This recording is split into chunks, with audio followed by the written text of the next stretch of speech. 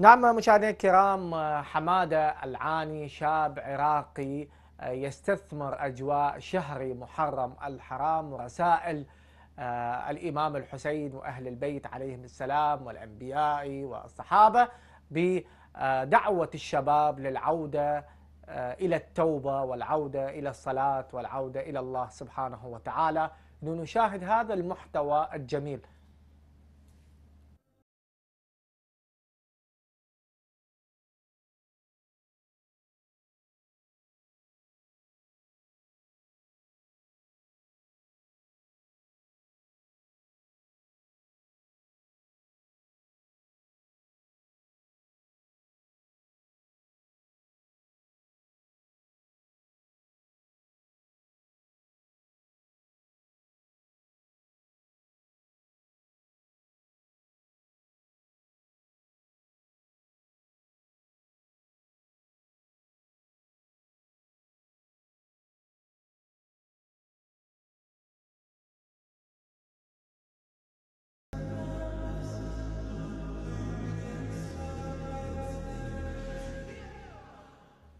جميل مشاهدينا الكرام حينما نشاهد هكذا صناع محتوى يستثمرون الرسالة آه، الحسينية ورسالة الإمام المهدي عجل الله تعالى فرجه الشريف.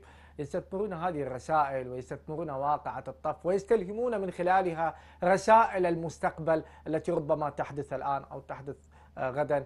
فلا نعلم متى آه، موعد الظهور. فهذه الرسائل اللي اللي يقدموها هؤلاء صناع المحتوى. أنا أعتبر إنهم لازم يكونون قدوة للآخرين من أقرانهم الشباب.